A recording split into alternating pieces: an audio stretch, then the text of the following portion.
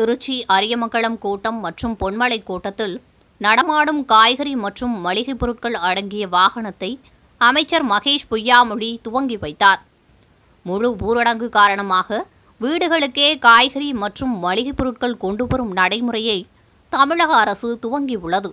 அந்த வகையில் திருச்சியில் பள்ளிக் கல்வித்துறை அமைச்சர் மகேஷ் பொய்யாமொழி திங்கட்கிழமை காலை அரியமங்கலம் கோட்டத்தில் மாநகராட்சி அலுவலர்கள் சித்த மருந்து பெட்டகம் மற்றும் நடமாடும் காய்கறி வண்டிகள் டோல்கேட் அருகே உள்ள பொன்மலை கோட்ட அலுவலகத்தில் காய்கறி வண்டி மளிகை பொருட்கள் அடங்கிய வாகனத்தையும் சித்த மருந்து பெட்டகத்தை பொதுமக்களுக்கு அளிக்கும் விழாவை அமைச்சர் மகேஷ் பொய்யாமொழி கொடியசைத்து தொடங்கி வைத்தார்.